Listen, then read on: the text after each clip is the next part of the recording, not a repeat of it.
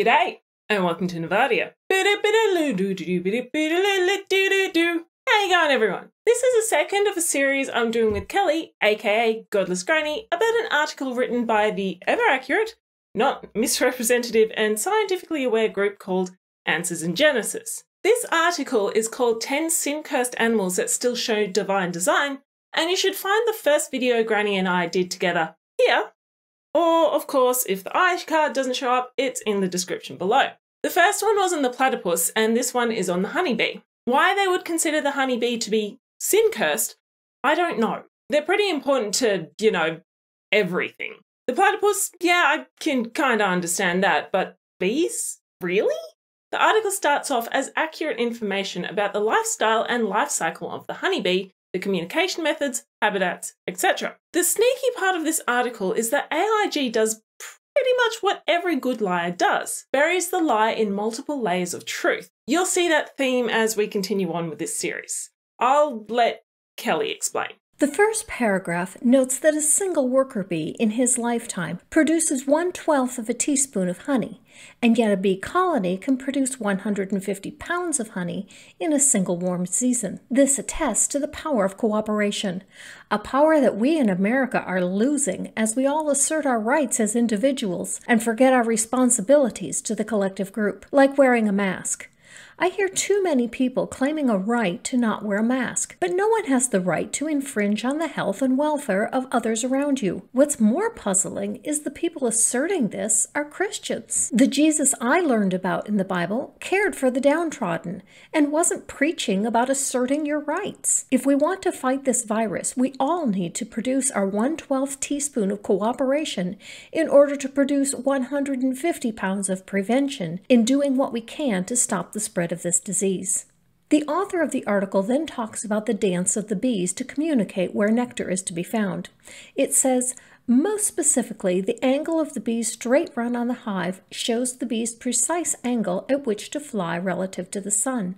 If the bee runs straight up the hive, the bees head straight into the sun.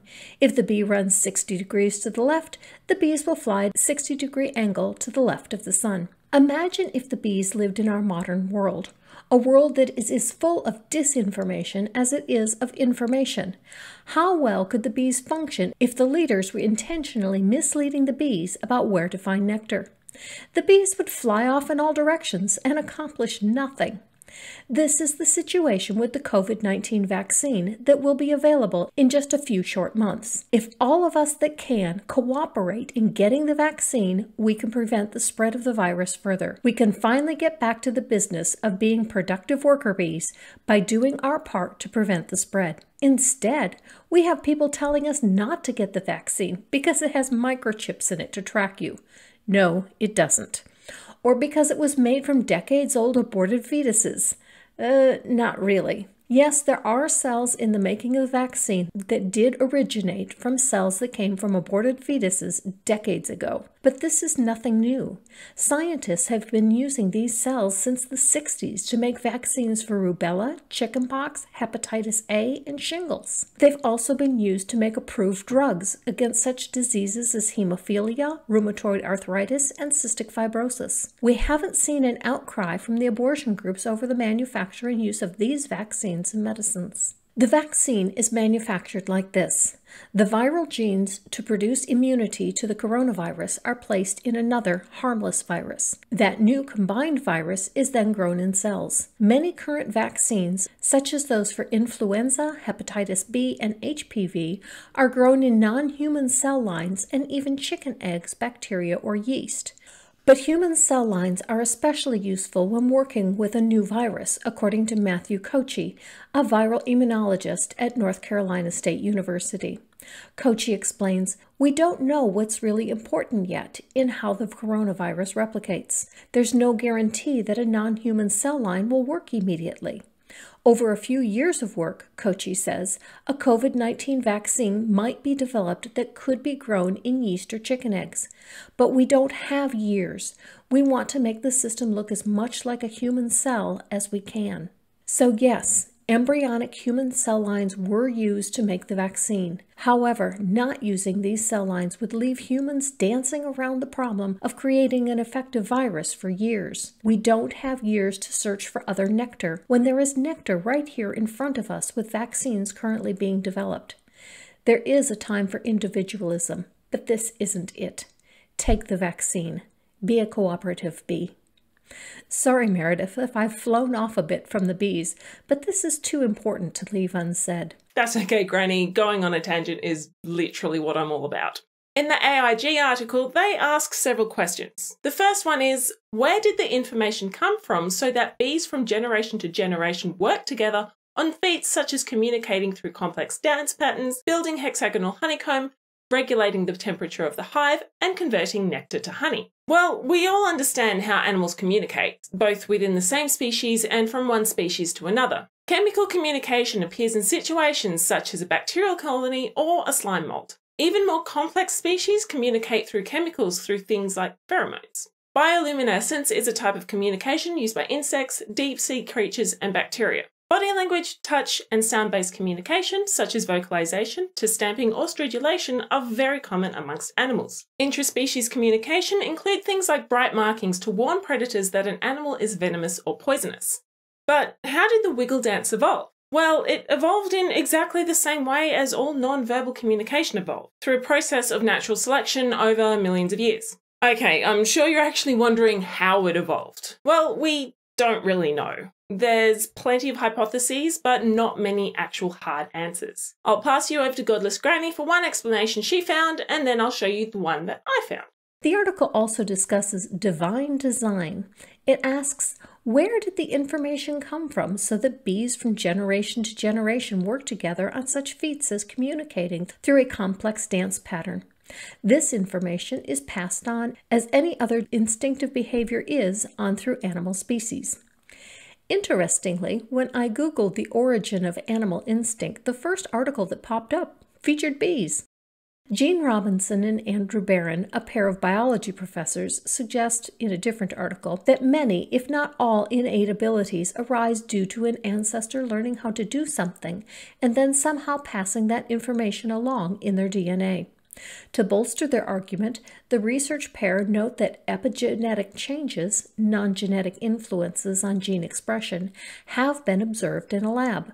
A mouse exposed to vinclozolin, for example, experiences changes to its DNA packaging, changes that can be passed down for three generations. As another example, they note that lab rats taught to react more calmly to stress events wind up behaving in ways that influence their offspring, which in turn causes them to react more calmly to such events. Behavior that can also be passed on to a third generation. They also suggest that instinctual and learned behaviors are likely governed by the same neural circuitry, which means that it might be possible that epigenetic changes could possibly be coded into DNA in some instances, allowing a learned response to become an instinctual response in offspring and their ancestors. This is an area of science which is not well developed. There is much to be done in discovering how this process works, but one thing we can be assured of is that we do not get the answer from Answers in Genesis.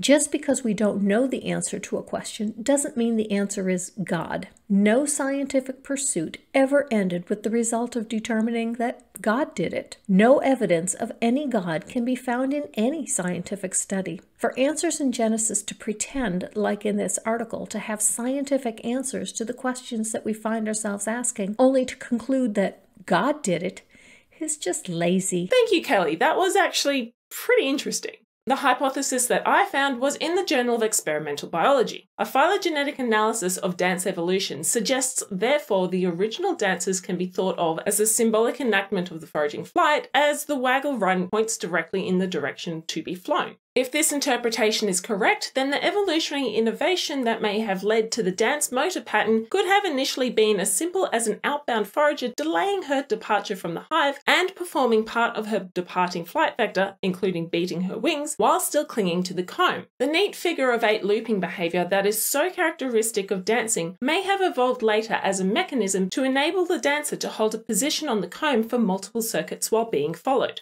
However, in the conclusion of the paper, it states although there has been enormous success in dissecting the phenomenon of dance behavior, thus far there has been little progress in studying the neural mechanism involved. This is because it is an extremely hard task. Bees only dance in a hive, and no one has yet persuaded any bees to execute dances in a laboratory setting, making the dance a very difficult phenotype to investigate experimentally. Learning more about the neurobiology of the bee brain has allowed us to flesh out this hypothesis. If indeed dance evolved by exaptation of orientation and learning systems, then while dance can still be described as a functionally referential signal, the form of the dance is far from arbitrary and reflects a hive-bound replay of a foraging flight. While I'd like to give you a lot more information about it, I don't exactly want to turn this video into an hour long lecture on bee behaviour, so I'll leave more resources I found in the description below.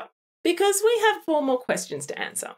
Speaking of questions, AIG's next one is How could the symbiotic relationships evolve between pollinators like bees and plants like orchids when one could not exist without the other? Actually, that's not a bad question. Well, symbiosis really depends on the organisms. For example, there are three types of symbiotic relationships parasitic, commensal, and mutual. Yeah, you probably didn't think that parasitic relationships were symbiotic, did you? A parasitic symbiotic relationship is probably the most commonly understood. One organism is damaged by another in order to keep the latter alive. It could be reasonably benign, like hookworm, to organisms that end up killing the host, like malaria. Tick birds, a bird that eats ticks from cattle, are considered to be a parasite as they cause injuries to the cow, despite the fact it removes a worse parasite from the animal. Parasitic relationships aren't exactly clean cut.